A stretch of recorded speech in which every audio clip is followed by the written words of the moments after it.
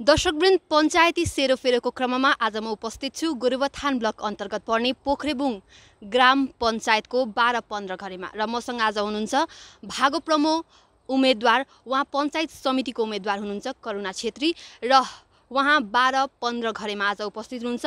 उहाँसँग केही बातचित गर्नेछौँ र करुणाजी यहाँलाई सर्वप्रथम हिमाल वर्ल्डमा धेरै धेरै स्वागत गर्न चाहे। धन्यवाद। र आज तपाईँ यहाँ बाह्र पन्ध्र घरेमा उपस्थित हुनुहुन्छ है। पञ्चायतको यो समस्याहरू लिएर हुनुहुन्छ होला? यहाँ के कस्तो समस्याहरू रहेको छ त?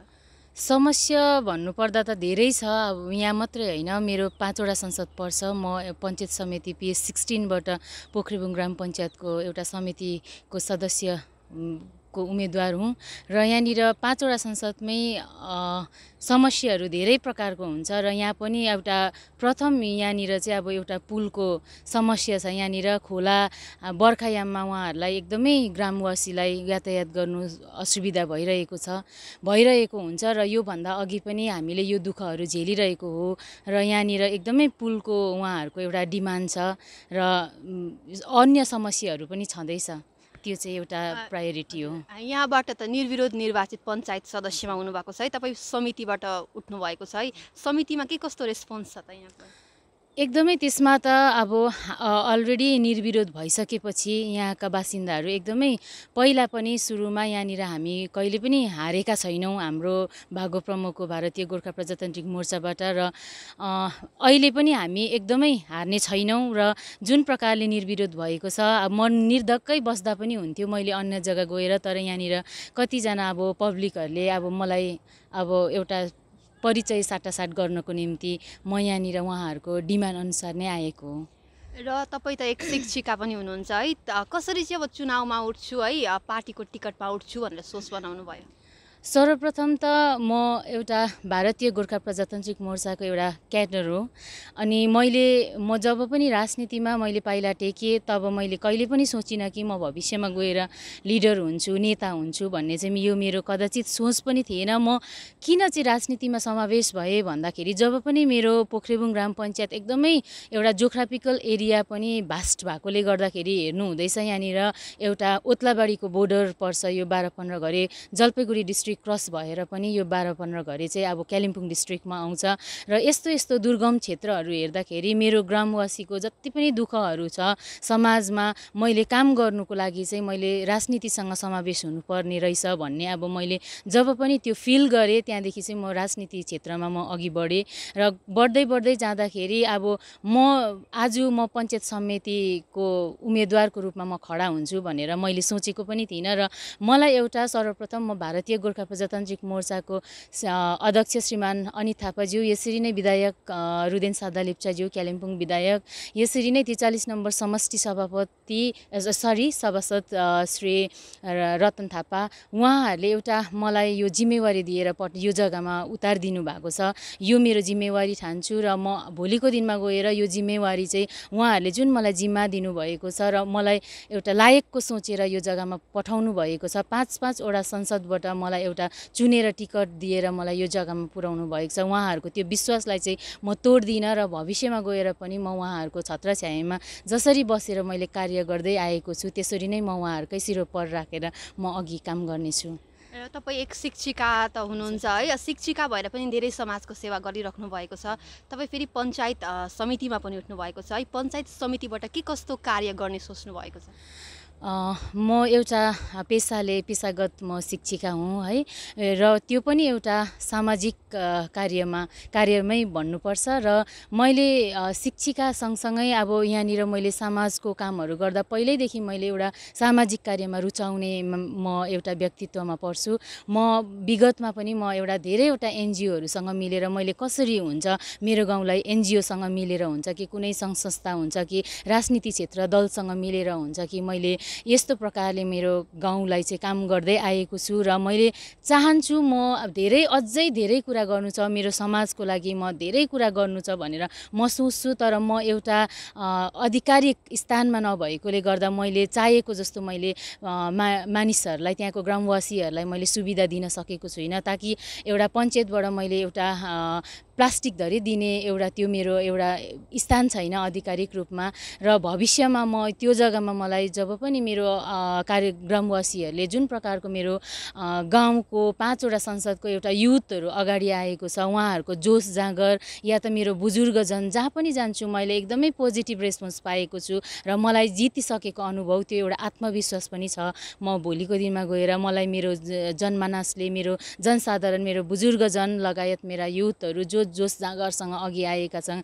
मैदानमा म सँगसँगै उहाँहरू यसरी खटिरहेको छ। खोला तरेर आज हामी बाह्र पन्ध्र घरे बिहानै आएको हो हामी र आजसम्म हामीले डल्लै बाह्र पन्ध्र घरेको सबै घर घर गएर हामीले घर दैलो अभियान गऱ्यौँ र एउटा भेट्ने घर दैलो अभियान त भन्दैन त्यसलाई म एउटा हामीले भेटघाट एउटा साटासाट गऱ्यौँ है एउटा परिचय साटासाट गऱ्यौँ र खुसी छु म अब मेरो जुन प्रकारको एउटा मलाई पनि रुचाएको रहेछ जनताले भन्ने अहिले मलाई फिल हुन्छ त्यो जग्गामा पुग्छु भनेर सोचेको थिइनँ तर समयको साथमा मलाई अब यहाँसम्म पुरा पुग पुगेँ म म अब त्यसमा गर्व गर्छु। तपाईँ स्वतन्त्र उम्मेदवार भएर पनि खडा हुन सक्नुहुन्थ्यो। तपाईँ फेरि बिजेपिएम पार्टीको टिकटमा खडा हुनुभएको छ। केही कारण छ कि यसमा? यसमा त्यस्तो त केही छैन। म सायद मलाई बिजिपिएमले मेरो भागो प्रमोले मलाई आज उम्मेदवारको रूपमा मलाई टिकट नदिएको भए पनि म सन्तुष्ट मान्थेँ। किनभने म यही सोच्थेँ कि मभन्दा योग्य अरू कोही छ मेरो ग्राम पञ्चायतमा भनेदेखि उहाँहरूले सायद दिनुहुन्थ्यो होला। आज मलाई सबैभन्दा योग्य ठानेर नै उहाँहरूले एउटा मलाई त्यो निर्णय लिनुभयो मौका दिनुभयो। त्यो मौकालाई चाहिँ म चुकाउने छुइनँ र म त्यो मौकालाई जुन एउटा आत्मविश्वास ममाथि भरोसा राख्नुभएको छ उहाँहरूको विश्वासलाई चाहिँ म तोड्ने छुइनँ भविष्यमा। तपाईँको जुन यो पोखरेबुङ ग्राम पञ्चायत छ यसमा कति कस्तो कस्तो दुर्गम क्षेत्रहरू पनि छ भन्नुभयो तपाईँले भन्नुहुँदै थियो है। र सबैभन्दा ठुलो समस्या चाहिँ के छ त पोखरेबुङ ग्राम पञ्चायतवासीलाई?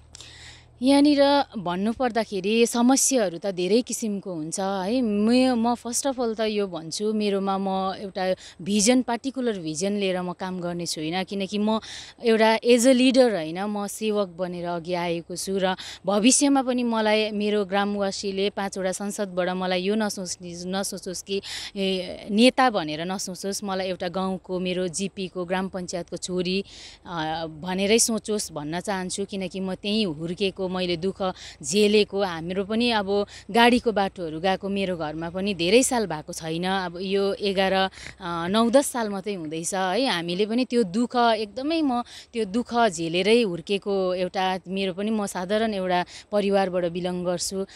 त्यो समस्याहरू चाहिँ मैले आउने दिनमा ग्रामवासीले नझेलोस् आउने जेनेरेसनहरूले भावी पिँढीले त्यो नभोगोस् भन्ने एउटा सोच बनाएर म अघि निस्केको हो। अब जनताको सेवा गर्नलाई चाहिँ एजेन्डा चाहिँदैन भिजन चाहिँदैन। म चाहिँ यो भन्छु ताकि यस्तो यस्तो भास्ट एरियाहरू छ जोग्राफिकल एरिया भएकोले गर्दा मैले अघि पनि तपाईँलाई भने धेरै धेरै दुर्गम क्षेत्रहरू छ जस्तै गरी मेरो संसद वानमा पर्छ यो रम्बी आफते भनिन्छ। रम्बी चाहिँ म हिजो मात्र त्यहाँनिर पुगेर आएँ। यति दुर्गम क्षेत्र छ अब तपाईँहरू त्यहाँनिर गएर हेर्नु सक्नुहुन्छ। र त्यहाँसम्म पनि एउटा अब अब यो पञ्चायती व्यवस्था जब पनि भारतीय गोर्खा प्रजातान्त्रिक मोर्चाकै पहलमा भएको भन्छु म उहाँहरूलाई यो श्रेय दिन्छु। म। र उहाँहरूले जुन यो व्यवस्था फर्काएर ल्याएको छ अब यो पाँच वर्षको टेन्योरमा चाहिँ त्यो रम्बीवासीले पनि त्यो जुन चाहिँ समस्या भोगिरहेको छ त्योबाट चाहिँ उहाँहरू वञ्चित हुँदैन भन्ने म चाहन्छु है। जुन अहिलेसम्म अब जस्तै गरी अब सभासदको कार्यकाल पनि एक वर्ष भयो उहाँले जब पनि हामी चाहिँ हारेर उठेको पार्टी हो भोलिको दिनमा गएर जुन एक वर्षको टेन्योरमा उहाँले धेरै कार्यहरू गर्नुभएको छ उहाँको लागि पनि सोच्नु भएको छ जस्तै गरी एउटा हेर्नुहुन्छ तपाईँले यहाँनिर यहाँबाट माथि गएपछि पथझोडा पुगेपछि त्यहाँदेखि उता फागु फरेस्ट भिलेज नम हुन्छ। नम हुँदै हामी गोरुबथान जाँदाखेरि एकदमै सर्ट वे पर्छ गोरुबथान पुग्नुलाई। ब्लक हाम्रो गोरुबथान परेकोले गर्दा अहिले घडी चाहिँ हामी बर्खायाम लागिसकेपछि बर्खा झरी लागेपछि हामीलाई भाया ओत्लाबाडी भएर घुम्नुपर्ने हुन्छ। त्यो समस्या एकदमै ठुलो समस्या मान्छु म किनकि धेरै जस्तो जनताहरूले दुःख भोग्छ र भाया भएर हामी लगभग छ्यालिस सैँतालिस किलोमिटर भएर हामी गोरुबथान एउटा ब्लकको कामको लागि हामी त्यति टाढो जानुपर्ने हुन्छ र त्यो वेमा एउटा हामीले मजबुत पुल बनायौँ भने त्यहाँनिर अब जुन प्रकारले अहिले सभासदको एउटा पहल चलिरहेको छ त्यो पहलमा चाहिँ उहाँले त्यो जुन चाहिँ पुलको एउटा प्रोसेस छ माध्यम छ त्यही माध्यमलाई पनि म चाहिँ अब साथमा साथ लाएर म सभासद र मेरो भागो प्रमुखका जति पनि मेरो अग्रजहरू छ त्यसको निम्ति चाहिँ म हात बिठाउँछु भन्ने पनि मैले चाहेको छु। त्यस्तै गरी यहाँ बाह्र पन्ध्र घरिको यो पुलको लागि पनि उहाँहरूले अब आफ्टर यो इलेक्सन चाहिँ सभासदले पनि हिजो अस्ति वचन दिएर जानुभएको छ। यहाँनिर शिलान्यास कार्यक्रमहरू हुनेछ मेजरमेन्टहरू अलरेडी भइसकेको छ यहाँको पुलको निम्ति चाहिँ। अब तपाईँले जित हासिल गरिसकेर सर्वप्रथम के काम गर्नु? म चाहिँ भन्नुपर्दा त्यो समयको समयको अनुरूप हुन्छ त्यो है? म यो गर्छु त्यो गर्छु भनेर म अगाडि भन्दिनँ र भोलिको दिनमा गएर म अब मलाई एउटा जुन आत्मविश्वास छ म जित्छु भन्ने है? मलाई जनताले अब जिताइसकेको जस्तो फिल भइरहेको छ। म जहाँ पनि सानो सानो दुर्गम क्षेत्रमा पनि पुग्ने मेरो मैले बाचा अलरेडी गरेको थिएँ। म रम्बी पुगेँ आज म यहाँ बाह्र पन्ध्र घरे आएँ। मलाई यहाँ यहाँ आउनु त्यति खास थिएन तर पनि मैले यहाँ जनता जनमानससँग भेट्ने एउटा परिचय साटासाटको निम्ति म हो उम्मेदवार त मैले मेरो अनुहार देखाउनु आएको हो आज। र म भोलिको दिनमा पनि आज जसरी म उहाँहरूको घरमा भोट माग्न आएकी छु त्यसरी नै म उहाँहरूको समस्या बुझ्नको निम्ति चाहिँ उहाँहरू मेरोमा होइन। अब समटाइम्स अब त्यो हुन्छ तर अब त्यो तर पनि म चाहिँ जनताको अघि आज म जसरी आएको छु त्यहाँनिर आएको हुनेछु। र जितेर गएपछि म यो गर्छु चाहिँ भन्दिनँ तर जति पनि यस्तै साना साना कुराहरूदेखि ठुलोसम्म म जति पनि मैले अहिले जति प्रचार प्रसारको कार्यक्रम भइरहेको छ मेरो। त्यहाँनिर मैले एउटा डायरीमा नोट गरेर राखेको छु उहाँहरूको प्रस्तावलाई प्रपोजलहरू। त्यही प्र प्रपोजलहरूको आधारमा चाहिँ म काम गर्नेछु। किनकि उहाँहरूले एउटा जग्गामा दुईवटा तिनवटा प्रपोजल दिनुभएको छ भने म एकदम इक्वेलिटी एउटा समानताको हिसाबमा म पाँचैवटा संसदलाई बराबर ठानेर र जुन जुन बेसी दुर्गम क्षेत्रहरू छ उहाँहरूलाई प्रायोरिटी दिएर उहाँहरूले दिएको प्रपोजल जुन चाहिँ छ त्यही प्रपोजललाई नम्बर एकलाई चाहिँ म प्रायोरिटी दिएर म काम गरेको हुनेछु त्यही मेरो भिजन हो। र अन्त्यमा तपाईँ के भन्नु चाहनुहुन्छ यहाँबाट? म यहाँबाट सबै महानुभावहरूलाई यो यस च्यानल हेरेर बसिरहनु भएको महानुभावहरूलाई म यही भन्न चाहन्छु म एउटा दुर्गम क्षेत्रबाटै भनौँ है। म मेरो त्यस्तो त्यो भर्खर मैले अघि पनि भने भर्खरै मात्र मेरो ठाउँमा पनि गाडीहरू गएको बत्तीहरू थिएन। हामी त्यस्तै जग्गाबाट हुर्केको एउटा व्यक्तित्वमा पर्छु म है।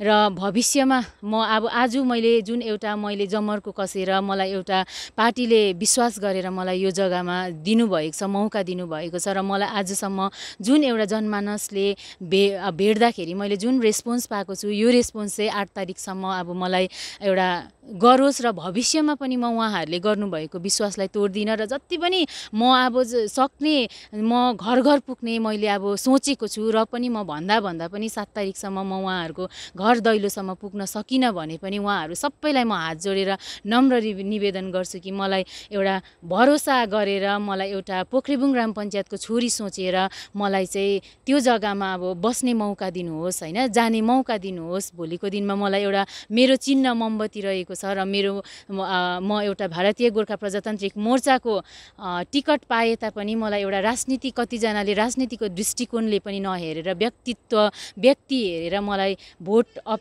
दियोस् भन्ने पनि म चाहन्छु। यही सबै सबैलाई चाहिँ म आह्वान गर्छु कि मलाई एउटा मेरो मोमबत्तीको चिनोमा मलाई भोट दिएर एकदम बहुमत रूपले भोट दिएर मलाई विजय गराइदिए जाओस् भन्ने म निवेदन गर्दछु। तपाईँले आफ्नो बहुमूल्य हामीलाई समय दिनुभयो त्यसको लागि धेरै धेरै धन्यवाद।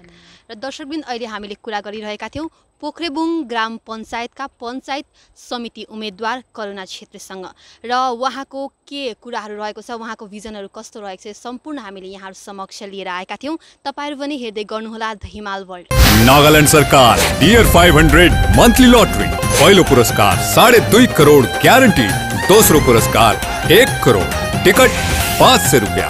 ड्र आठ जुलाई। पहिलो पुरस्कार केवल बिक्री भएका टिकटबाट। डियर 500 बाई मन्थली दस जुनको ड्र टिकटमा साढे दुई करोड जिते। नवनाथ सम्पत जगदालेले के तपाईँ हुनुहुन्छ यसपालिको करोडपति। वो काव्या बी ब्लॉक में रहती है। शी आस्क्ड मी पास में कॉफी शॉप कहाँ है? बट मैं कहा किसी हाँ मैडम। ये क्या है?